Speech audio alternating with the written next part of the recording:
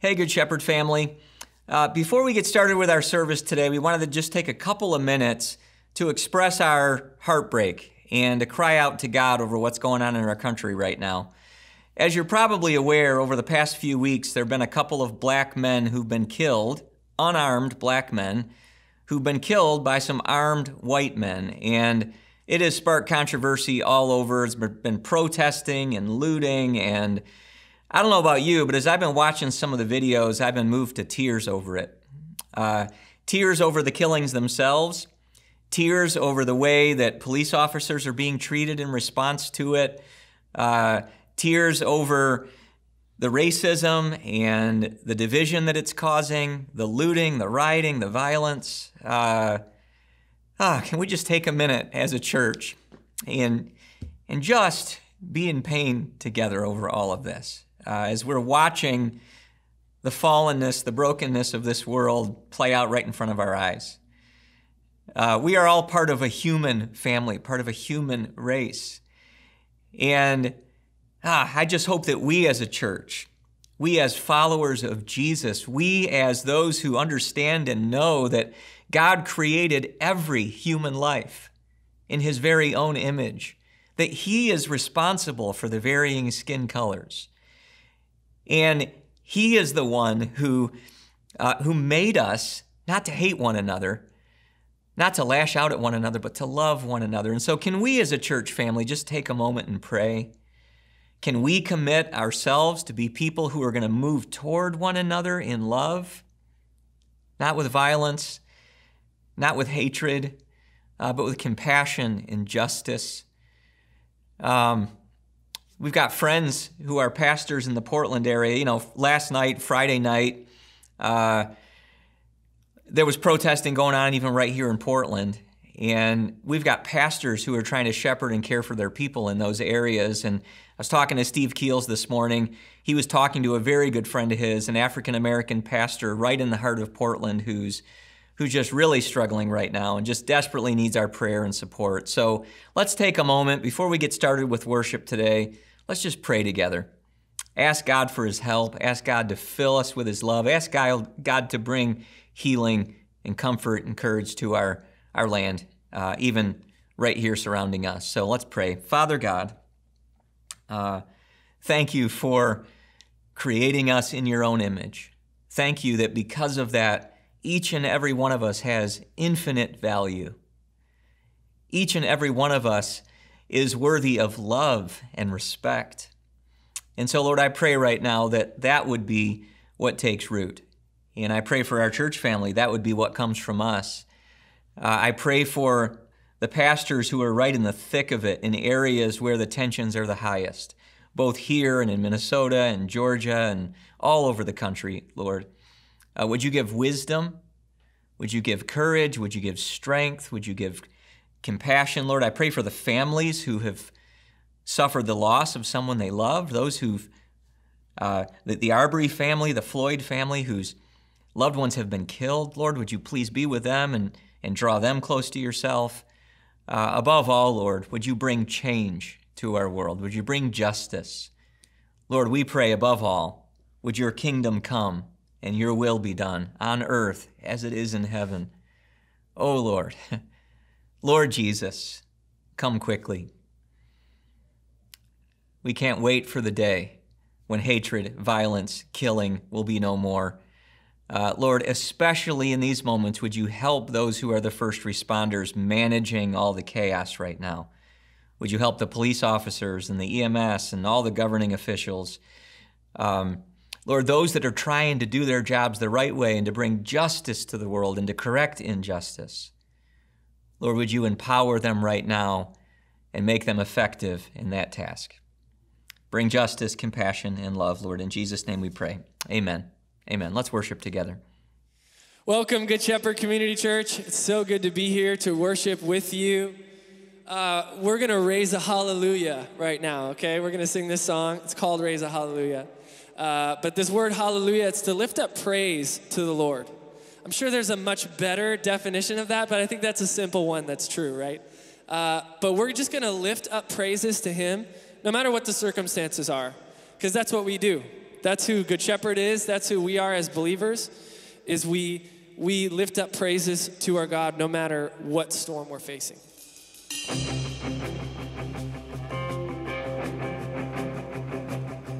I raise it, hallelujah. presence of my enemies. I raise it hallelujah.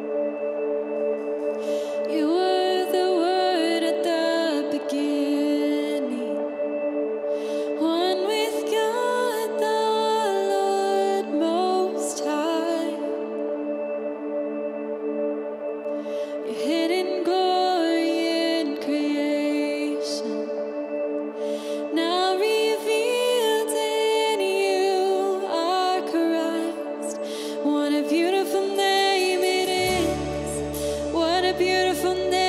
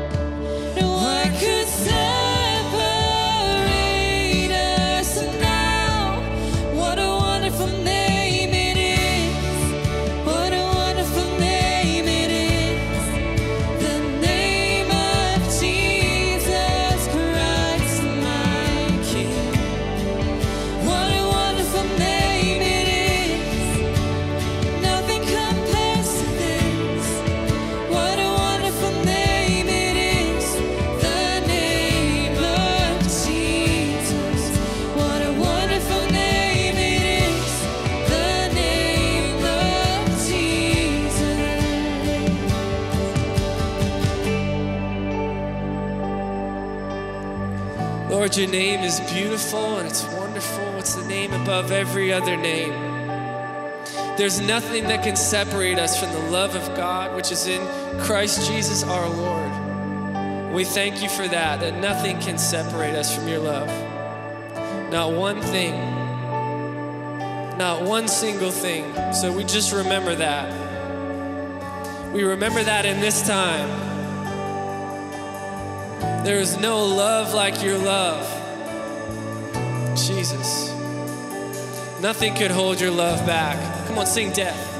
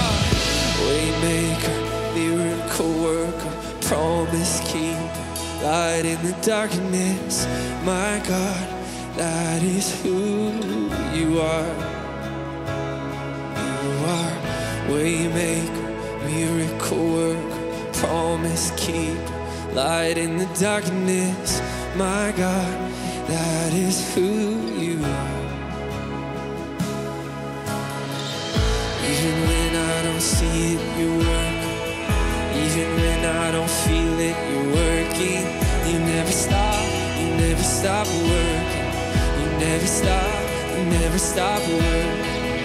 Even when I don't see it, you're working.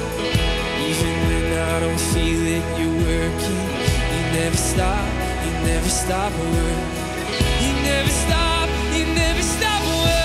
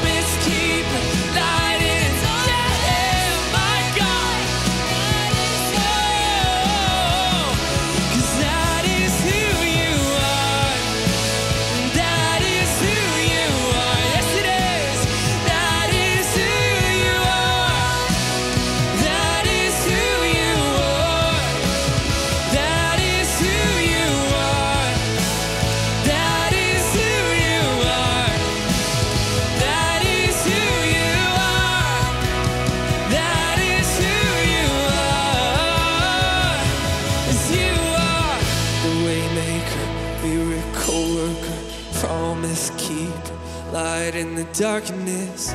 My God, that is who you are.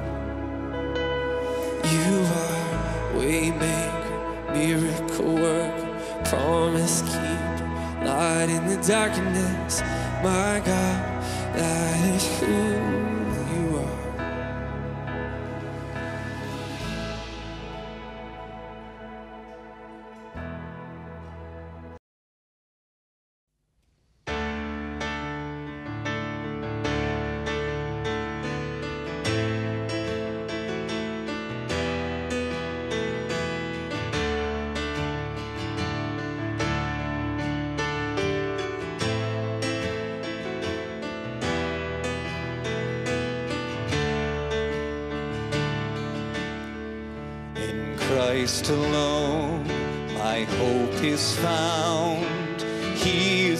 light, my strength, my song.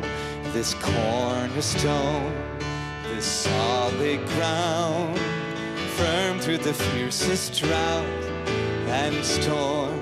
What heights of love, what depths of peace, when fears are still, when striving cease. My comforter, my all in all. Here in the love of Christ I stand.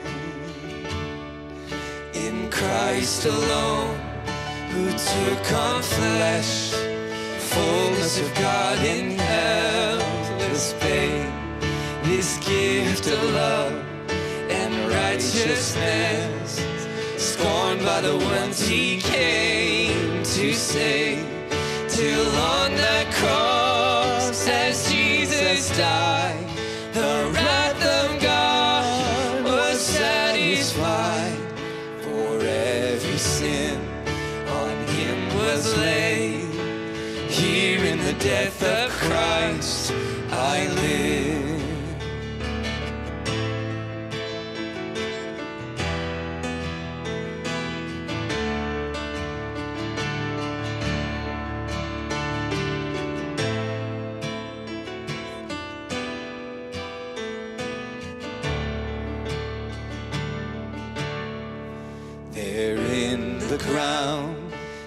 body lay, light of the world by darkness slain, then bursting forth in glorious day,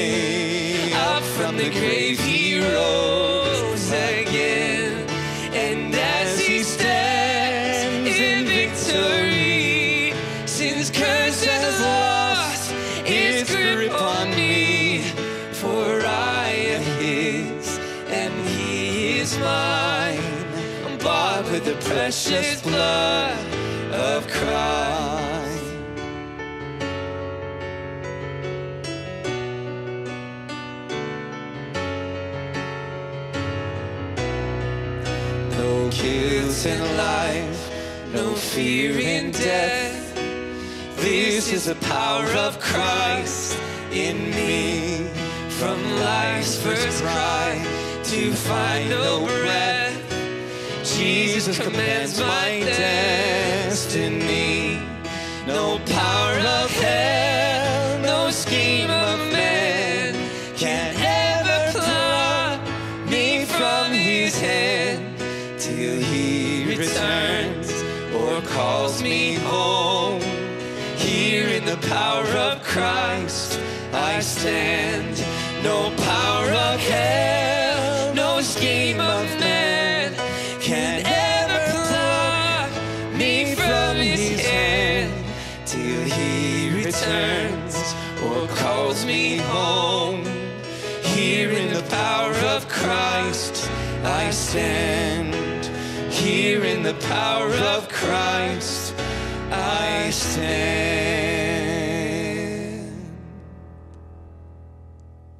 Hi, church family. We're so glad to be gathering with you so that we can learn together to live like Christ while reaching out in His name. It's been such a blast not only doing these weekend services, but also having moments throughout the week to gather online, whether it's through the devotionals, through the blog, through our praying live time that's been on Facebook and Instagram and on YouTube.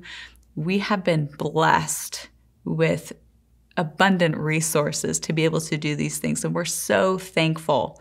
Now, that being said, we are so excited because we are now on a trajectory of gathering together in this building. So stay tuned and be looking for details to come in your email inbox. We're so excited about this and cannot wait to see your faces, even in a limited capacity. Now, next weekend, join us because we're going to be doing our global outreach weekend. And I'm excited to hear about what God is doing around the globe and how we can be involved in it as we also reach out in Jesus' name together. Right now, we're going to spend time learning from God's word together. Love you. See you soon. Hey, Good Shepherd. Man, I miss you guys. So excited that sometime over the next few weeks we're actually going to get to gather together, uh, together again physically. Uh, that'll be so exciting. In the meantime, it's kind of nice to be outside uh, bringing the message today. We're in week number five of our series called The Resurrection in Motion, and today we're going to talk about our resurrection from the dead.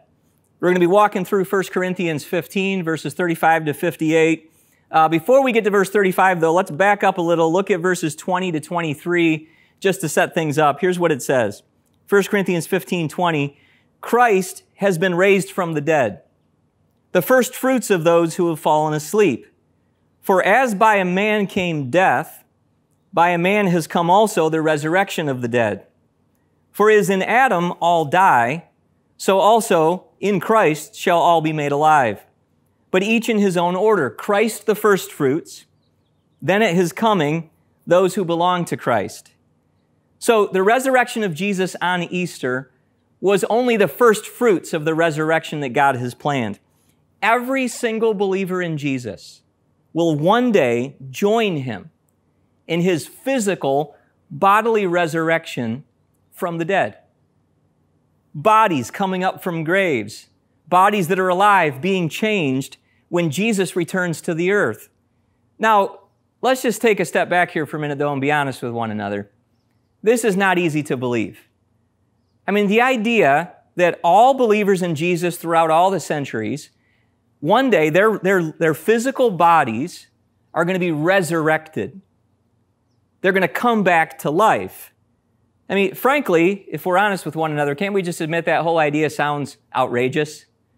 It sounds outlandish and maybe even a little unbelievable. And let's just give each other a little bit of patience in that, right? I mean, this is not easy to believe, mostly because none of us has ever witnessed a resurrection, have we? I mean, I haven't. have you? I've prayed for them. I've hoped for them, but I've never witnessed one. I don't know if you've ever been to a funeral that had an open casket. Uh, in my own life, I've been to several of these. Back in Michigan, it was common. It was the most common kind of funeral. In fact, both of my grandparents on my dad's side, even my dad himself when he died back in 2001, they had open casket funerals. And it's a little weird, if you've ever been to one of these, it's strange looking at a dead body. I mean, it looks like them. You want to be close to them, you want to touch them, you just want to, you know, as much as you possibly can, you just want to be near them. But yet you know they're not really there. You're secretly hoping that they'll just sit up and start talking to you, but they never do. And it's weird. It gets even a little weirder uh, if you've ever been to a graveside service where you take that body and you lower it into the ground. Or maybe even weirder is when you cremate the body. And I don't know if I'm the only one, but for me, it, it just always feels a little bit wrong to be separating from and letting go of their bodies like that. I think it's because it feels like there's something really valuable, something really important being lost. And the truth is, there is. There is something really valuable and important being lost. But the good news is, it's only being lost temporarily. Uh, as hard as it is to believe, the very same bodies that are buried, the very same bodies that are cremated, will one day be resurrected and brought back to life. Paul's aim in 1 Corinthians 15, verses 35 to 58, is to reveal that God has big plans for our physical bodies. Big plans that should greatly impact the way that we live today. Paul in 1 Corinthians 15 is going to answer the questions how will this happen? Why will it happen? What will these bodies be like? When will it happen? Who will it happen for?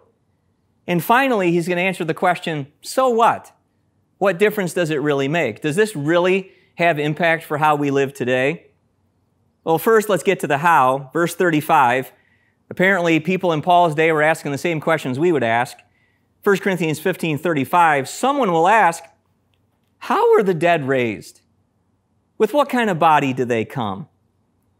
Paul's response is a little bit aggressive. Uh, he says in verse 36, You foolish person. It's almost like he thinks the question is a little bit simplistic and ridiculous. And I have that same question. You know, I wonder if he'd be a little impatient with me because Paul has such confidence in this. But he says, You foolish person, what you sow does not come to life unless it dies. And what you sow is not the body that is to be, but a bare kernel, perhaps of wheat or of some other grain. So Paul just begins with an illustration, an analogy to farming or to gardening. The first thing he does is he explains that the resurrection of the dead is actually not very different from things that we already experience every day, things that we already see it's actually not as far fetched as it seems. It seems almost unbelievable, almost absurd to think that these dead bodies are going to resurrect. But yet, you may have never seen God raise a dead human body, but you have, you have seen Him raise the dead many times. Here's the point How will we be raised? We will be raised like our graves are gardens. Think about that for a minute. Our graves are gardens. Think about how gardening works. Imagine a sunflower seed. You know what those look like, right? People like to eat them. They're actually pretty tasty when you put some, put some salt on them. Uh, but think of a sunflower seed when it's still in its shell. Just a little black and white little seed, doesn't look like much. You take one of those things and you bury it in the ground, it's amazing what happens. It's almost unbelievable when you really, you would never expect it in and of itself. If you hadn't wit- witnessed it over and over and over again, that these little seeds turn into something remarkably different when they're planted into the ground. So, what happens to this little seed when it's planted? Well, in a sense, it dies. When you plant a seed in the ground, it comes to the end of its existence as a seed. In that sense, it dies but then it sprouts with new life. It's resurrected with a new and dramatically superior body. Here's a picture they're going to put up on the screen for you of a field of sunflowers. Now, what is remarkable is that everything these flowers become is, is contained in the little seeds. And you're left thinking to yourself, how in the world does this work? I mean, this is astounding. There's a death and a resurrection, is how it works. The seed ceases to become a seed and it becomes a flower. And yet there's continuity between the seed and the flower. It is in fact the very seed that becomes the flower. So it is with our resurrection from the dead, Paul says. These bodies of ours, it's kind of weird to think of, but these bodies of ours are seeds. They will die, they will be buried, and they will be raised into new and dramatically superior bodies. Our graves are gardens. Really quite remarkable how gardening works. Different kinds of seeds don't really look that different from one another. If you're a gardener, you know these little seeds are not very special. They're not very interesting looking, just these tiny little things. But they result in amazingly diverse and different kinds of plants every little seed resulting in some different kind of dramatically different plant. Paul says in 1 Corinthians 15 38, God gives it a body, just as He's chosen. and to each kind of seed its own body. God's the one that does this. Every little seed, when it dies, God resurrects it. And the transformative resurrection of every seed happens by the creative power of God Himself. God determines what kind of body each seed will have when it's raised, and He will do the same for our resurrection bodies.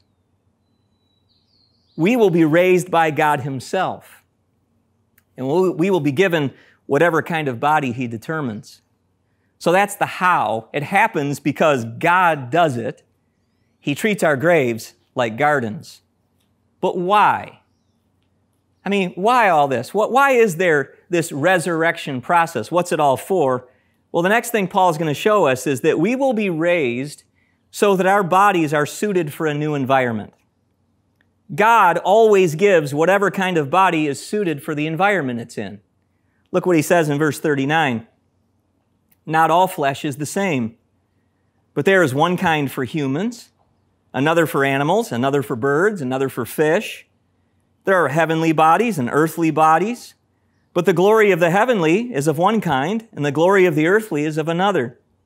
There is one glory of the sun and another glory of the moon, another glory of the stars, for star differs from star in glory. God has created all kinds of different bodies, each one suited for its environment. Animals are suited for cliffs and forests and jungles. Birds are suited for the air. Fish are suited for the sea. The sun, the moon, and the stars are suited for outer space, where there's no oxygen and extreme temperatures. Paul goes on to say there are heavenly bodies and there are earthly bodies, each with a different kind of glory, suited for its environment, just as God chooses. And this is the reason for the resurrection. We're going to need heavenly bodies that are suited for a new heavenly environment. These earthly bodies won't work. These earthly bodies are suited for our current earthly environment. There is coming a day where we're going to have a new environment that demands, requires new and vastly superior bodies. Revelation 21 gives a little bit of a description of this new environment. Look what it says. The Apostle John is speaking of a vision God gave him of, of the end of time. Then I saw a new heaven and a new earth. The first heaven and the first earth had passed away, and the sea was no more. And I saw the holy city, New Jerusalem, coming down, coming, coming down out of heaven from God, prepared as a bride adorned for her husband. And I heard a loud voice from the throne saying, Behold, the dwelling place of God is with man he will dwell with them, and they will be his people, and God himself will be with them as their God. He will wipe every tear from their eyes, and death shall be no more, neither shall there be mourning, nor crying, nor pain any more, for the former things have passed away. And he who was seated on the throne said, Behold, I am making all things new. The new heaven and the new earth will be unlike any other place we've ever seen, any other place we've ever experienced in very profound ways. Even though it is this earth and these heavens made new, so there's continuity, it will be vastly superior, significantly different in profound ways. People are going to live face to face with God far more than ever before. And they are going to need new bodies suited for the new environment. New bodies that are suited to do God's will in, in vastly superior ways. Our current bodies are simply not suited for the new heaven and the new earth. To put it bluntly, we can't go there dressed like this. I don't know if you've ever had a situation in your life where you were not dressed appropriately for your environment. Uh, I have. I never forget when I graduated from the University of Michigan back in 1993, and I was hired to work for a public accounting firm. Now, I grew up in southwest Detroit, and so if you knew the area I grew up in, you'd know it was a very blue collar area. Uh, I just didn't have the kind of clothes needed to work at a professional firm. Back in those days, everyone at a firm like that dressed in very expensive business suits. I realize these days things are much more casual, but back then in 93, you had to be dressed right for your professional environment. Well, I had mostly t shirts and jeans. I mean, I worked at McDonald's for six years to put myself through college, so I was not rolling in money. In fact, it's kind of funny. Uh, my last day at McDonald's was on a Friday, and I started at this big professional accounting firm on Monday. Literally, like two days later, one day I'm wearing my McDonald's outfit. The next day, I'm supposed to be dressed in this expensive business suit, and I just didn't have any money to buy the right clothes. Uh, I was pretty much broke. So I had a decision to make. It was kind of embarrassing. But in order for me to be dressed properly for my new job, I had to approach my supervisor and ask him if I could borrow some money to buy clothes. Uh, that was one of the more humbling moments of my life. The supervisor was very gracious with me. Uh, he arranged for me to get an advance the, from the firm, and I was able to go out and buy some clothes so I could be dressed properly, uh, to get clothes that were suited for the environment that I was entering. Well, this is how it's going to be for us in the new heaven and the new earth. We can't go in there dressed like this. We need new bodies that are suitable for a new environment. 1 Corinthians 15 42. So it is with the resurrection of the dead. What is sown is perishable, what is raised is imperishable. It is sown in dishonor, it is raised in glory. It is sown in weakness, it is raised in power. It is sown a natural body. It is raised a spiritual body. If there's a natural body, there is also a spiritual body. So these current bodies, the ones that are suited for this natural world, our current bodies are perishable. They are dishonorable. They are weak. They are natural. They're just simply not suited for the new heaven and the new earth. Now, this has become pretty real to me. Uh, I turned 49 in a couple of months, and I'm realizing that this body I live in is perishable. uh, it just doesn't work the way it used to. It has a shelf life. You know, that's what perishable means. It has a shelf life. It's wearing out. It doesn't, in any way, shape, or form, work the way it used to. And I, I learned this the hard way a couple years ago at our high school ministry, Dunes Retreat. Uh, they talked me into being in this skit where I dressed up as this character known as the Hooded Leprechaun. I think there's footage of this out there somewhere. You should go look at it. It's pretty funny. Uh, one of the funniest parts was when I entered into a sword fight with Steve Keels, uh, and Lenny Martin was the referee. That was one of my favorite parts of it. It's pretty hilarious. But as part of the skit, I had to jump off the stage and go running toward the back door of the auditorium up at Dunes. And in the process of jumping off the stage and sprinting toward the back door, I tore my calf muscle. I don't know if you've ever torn a muscle. I had pulled muscles before, but I'd never torn one. It was as painful as anything I'd ever experienced. It was unbelievable. The muscle literally started internally bleeding, and the blood drained down into my foot, turned my foot purple uh, it wasn't pretty. It took months for it to heal so I could be back to walking normally again. Uh, so, yeah, I'm fully aware that this vessel is perishable. It's wearing out. Put bluntly, it's dying. Not only are these bodies perishable, they are dishonorable. They are prone to attitudes and actions that are not worthy of honor. These bodies are plagued by sinful desires and habits that the Apostle Paul refers to as the flesh.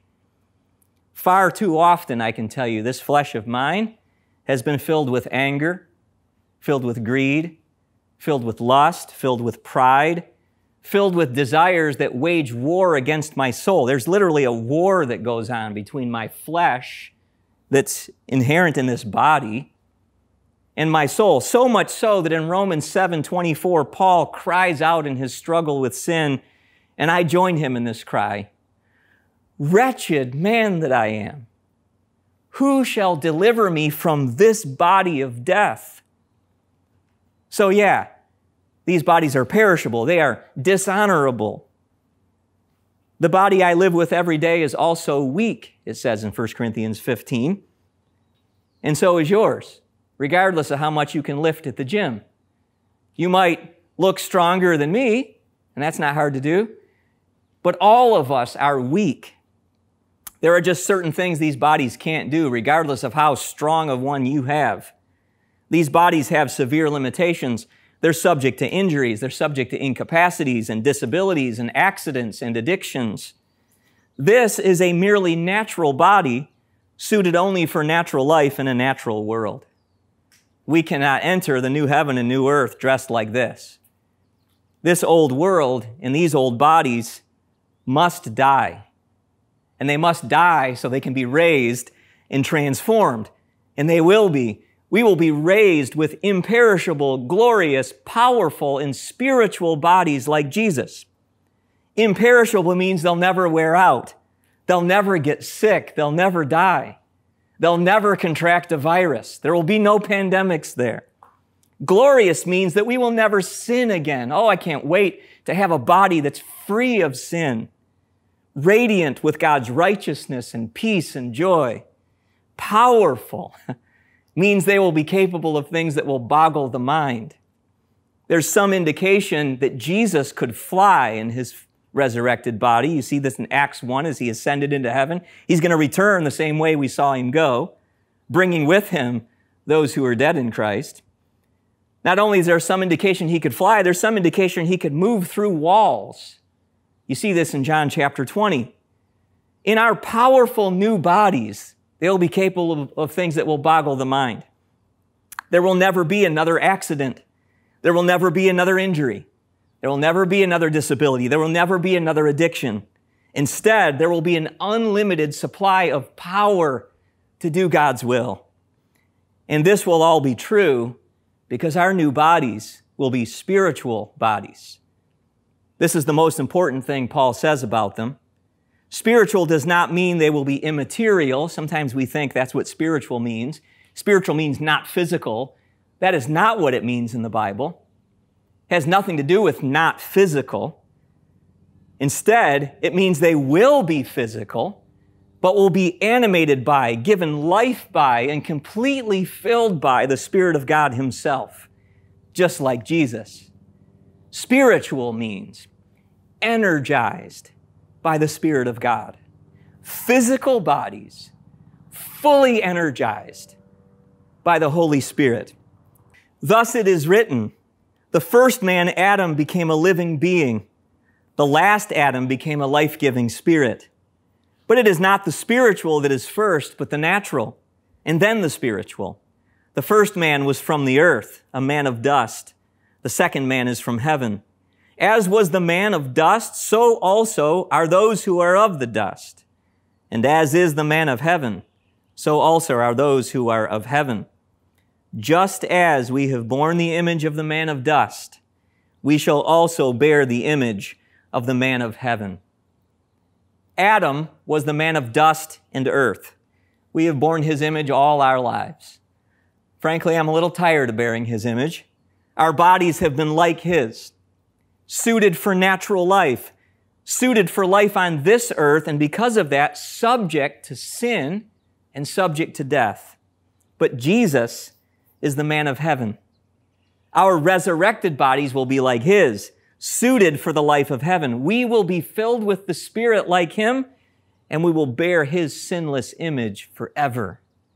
Our resurrected bodies will be like Jesus' resurrected body imperishable, glorious, powerful, and spirit filled. Now, some people wonder well, what will they actually look like? I mean, it's great to hear they're imperishable, they're glorious, they're powerful, they're, they're spirit filled. But what do they actually look like?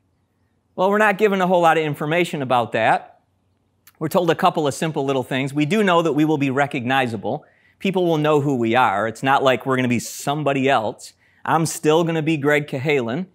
And if you know me when we get there, you're still going to know me. So at least we have that much that we're pretty confident of as you look in the scripture.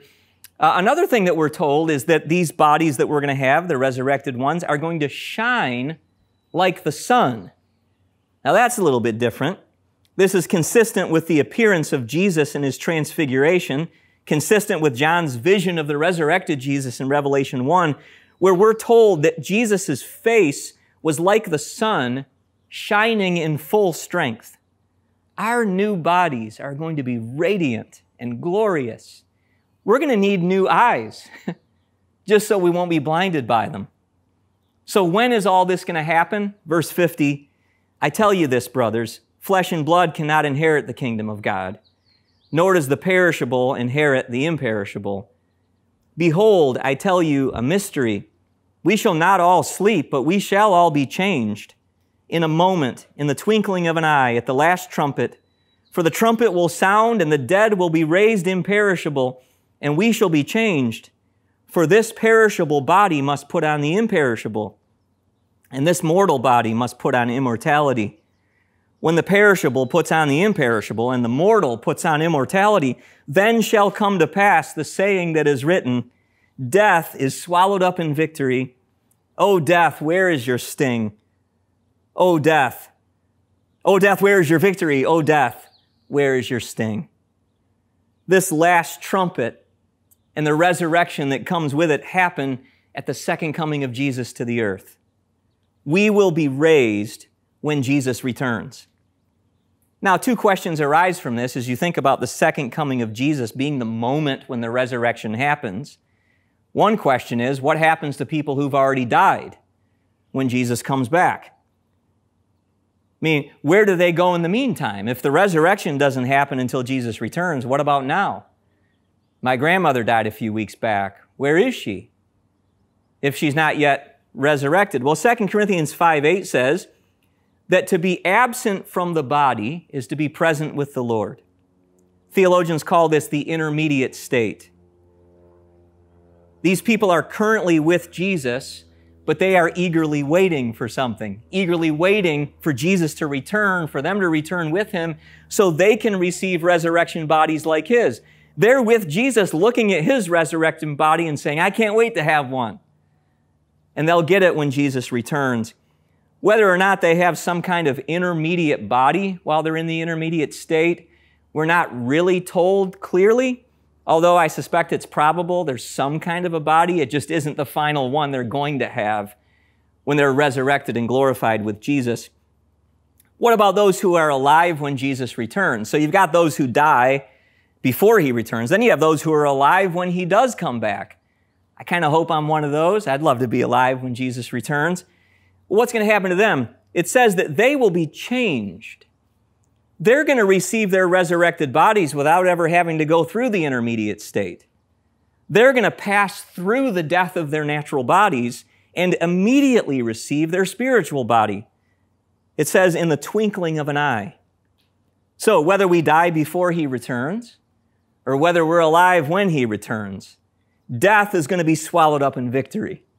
Death has lost its sting. Ah, this, friends, is our blessed hope. Death has no power over us. There is a resurrection coming for us, but it's not for everyone. Who is the resurrection for? Verse 56.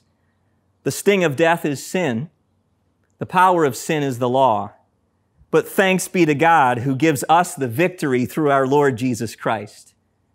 Because the sting of death is sin and the power of sin is the law, the sting and the power can only be removed by someone who perfectly obeys the law and never sins. This is why Jesus, the sinless one, the only sinless one, it's why he is the way, the truth, and the life. And nobody comes to God except through him. Who will be raised? We will be raised if Jesus is our Lord. If Jesus is not your Lord, and listen, if you're watching and listening to this today and you're not yet at the point where you can just say with conviction, Jesus is my Lord, the Bible has a warning for you. It's difficult to hear, but in the warning is an invitation. This is not what God wants. Hear loud and clear. He loves you, He wants you, but He will not force you. If you reject Him, there's a resurrection coming for you too if Jesus is not your Lord, your future will be a place called the lake of fire. It's described in Revelation 21. It's described as the second death. It's not a resurrection to life, it's a resurrection to death. Both believers and unbelievers get new bodies. Unbelievers get bodies suited for their environment. It's an environment of torment separated from God's love. Believers get bodies suited for joy and pleasure in the fullness of God's love. And so, my encouragement to you is to choose your future wisely. Now, all of this leads then to the final question that we need to answer. It's the so what question. What difference should the resurrection make in how we live here and now? Well, our new bodies in the resurrection are going to be imperishable, glorious, powerful, and spiritual bodies because they will be filled with the Spirit of God. This is our future inheritance. Now, how do you know that you're going to receive an inheritance one day? How do you know that this inheritance of a resurrected body like Jesus belongs to you? Well, the scripture says that you can know that the future inheritance is yours if you have received the guarantee of it now. Look at this from Ephesians chapter 1. When you heard the word of truth, the gospel of your salvation, and believed in him, you were sealed with the promised Holy Spirit, who is the guarantee of our inheritance until we acquire possession of it to the praise of his glory. So the question for all of us today is, have you received the guarantee? Have you received the down payment, the deposit of your future resurrection? Have you received the Spirit of God by faith in Jesus? This is the same as the question of asking is, is the Spirit of God already giving life to your mortal body? So here you, here you are in your mortal body still. Have you already begun experiencing the Spirit of God giving life to your mortal body? Romans 8 11 if the spirit of him who raised Jesus from the dead dwells in you, he who raised Christ Jesus from the dead will also give life to your mortal bodies through his spirit who dwells in you. Steve, of course, talked about this last week. The Holy Spirit has already been given to us. The Holy Spirit is already giving us life and peace. He's already setting us free from sin and fear. By the Spirit, we already enjoy the first fruits of heaven. And so, how about you? Are you already experiencing the first fruits of heaven? Because the Spirit of God dwells in you and is giving life and peace to you. If so, if you've received the deposit, the guarantee of your future inheritance, how then should you live? You should live by the Spirit because you will be raised by the Spirit. Here's the way Paul closes his whole discussion about the coming resurrection. Verse 58. He says, Therefore, my beloved brothers, be steadfast, immovable, always abounding in the work of the Lord, knowing that in the Lord your labor is not in vain. In light of the resurrection, we should always abound in the work of the Lord. We should be steadfast and immovable in it. Everything else is in vain. If heaven is your future, if a glorified, imperishable, powerful, spiritual body is your future, live now in light of your future. Only what's done for Christ will last. If you want to go to heaven, pull heaven more and more into the present and live for it now. Here's the big idea put simply live like you will be raised.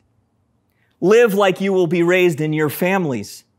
Live in your friendships like you will be raised. Live in your church like you will be raised. Live in your work like you will be raised. Live in your neighborhoods like you will be raised. Live in your finances like you will be raised. Live in your entertainment like you will be raised. Live in your social media like you will be raised. Live in your culture like you will be raised. Live in this world like you will be raised. Live in the pandemic like you will be raised. Live in conflict like you will be raised. Live in your suffering and yes, even in your death like you will be raised. Live by the Spirit because you will be raised by the Spirit. And the fruit of the Spirit is love, joy, peace, patience, kindness, faithfulness, gentleness, self control. If we live by the Spirit, let us keep in step with the Spirit. Live like you will be raised. Let's pray. Father in heaven, we are overwhelmed at the thought that a day is coming when we will receive an imperishable body. The perishable will put on the imperishable. There's coming a day, Lord, where we will receive a glorious body, where the dishonorable, the sinful, will put on the glorious. There's coming a day, Lord, when these natural bodies will put on the spiritual, these weak bodies will put on the powerful. Would you help us, Lord, to live now in light of it? Because one day we will be fully and completely filled with your Spirit. May we live by the Spirit now. Might we live like we will be raised. In Jesus' name, amen. Love you guys. Thanks for being with us.